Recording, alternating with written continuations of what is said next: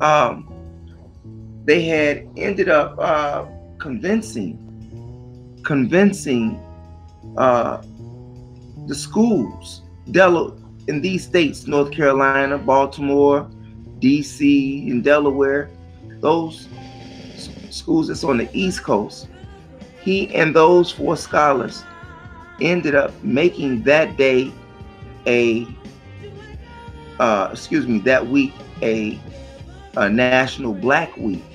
And the reason that it takes place in february out of all months is because of abraham lincoln who abolished slavery.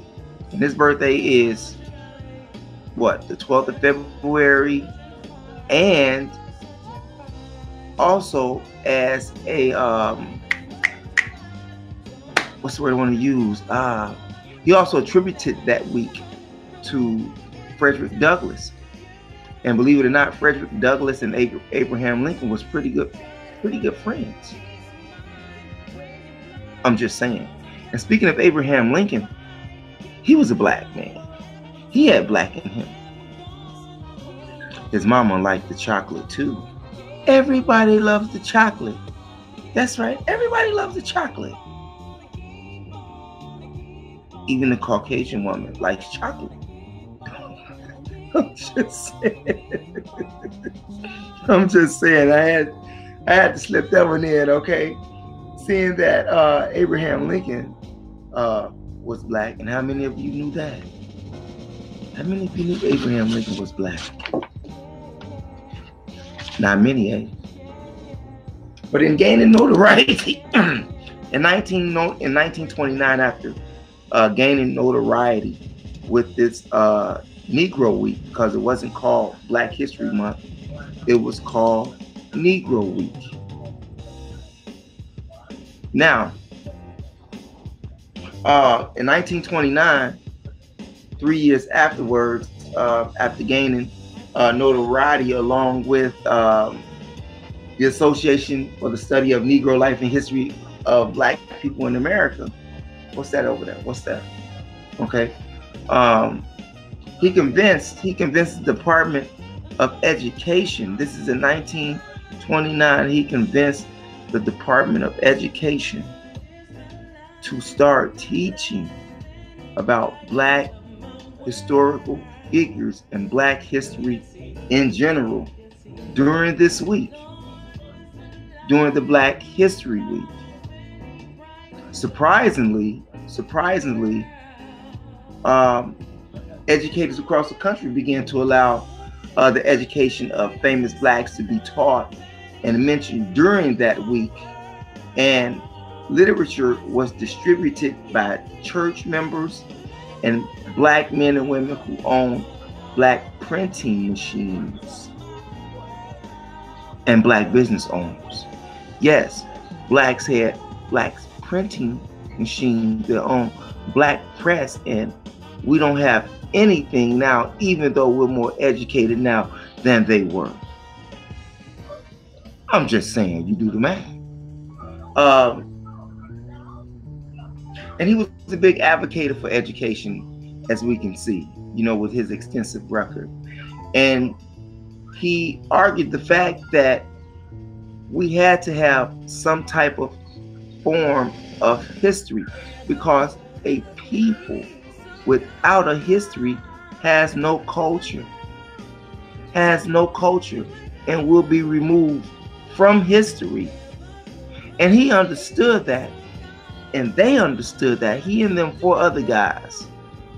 They understood that without history, people have no culture, and without culture, you have no history. Carter G. Woodson is the father of black history. Do, do you understand that? Carter G. Woodson is the father of black history here in America. And it wasn't until 1969, that's a long time. We went from 1929 to 1969, but he died in 1950. But the point that I want to make is that finally in 1969, black educators, along with black clubs and black leagues, one in particular um, called the Black United Students.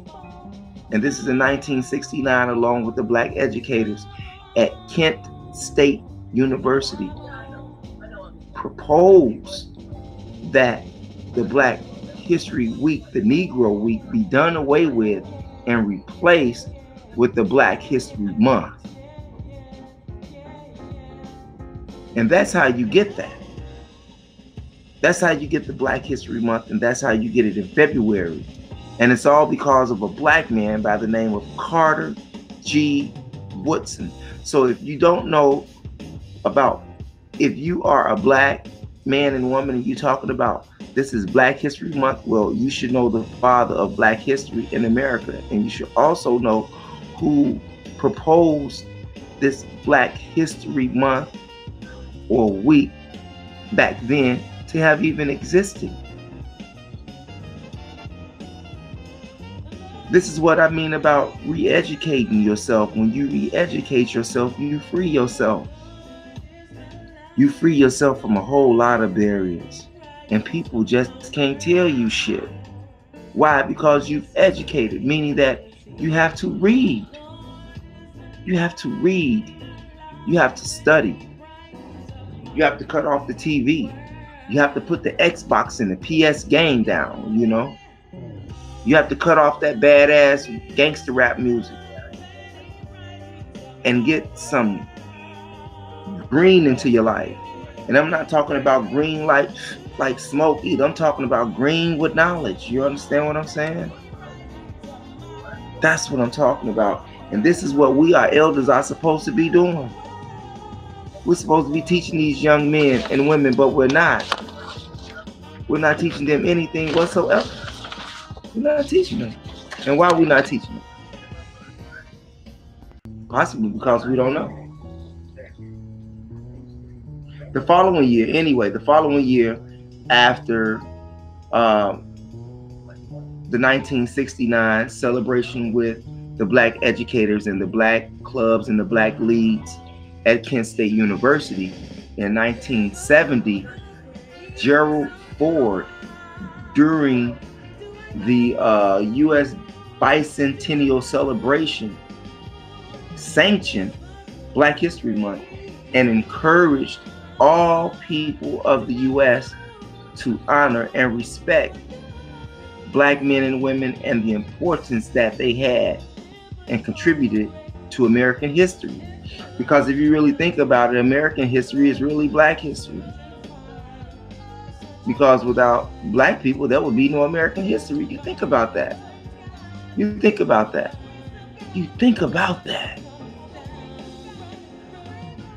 That's how powerful you are. That's how powerful you are. Now, Black History Month is not celebrated all over the world. It's not celebrated all over the world. Let's get that understood. Black History Month is not celebrated all over the world, even though Black History is every day. Prime example. It wasn't until um, what was it, 1987? And that was when the United Kingdom, the UK, actually uh, honored February as Black History Month, and we can attribute that day to Akyaba Adai Sibo. Akyaaba Addai-Sebo. Akyaba Adai Sibo, who was a Ghanaian analyst over in the UK. And he convinced that government, I guess parliament over there, to honor black people because you do because you do have black people in the UK even though they started kicking them out maybe a, a year or two ago. I'm just saying this is Black History Month. Now in what was it 1995 um, who did that in 1995 Canada In 1995, Canada uh, began to honor black men and women because they have black Canadians in Canada. Yes, they have black Canadians in Canada. I'm just saying for those who didn't know.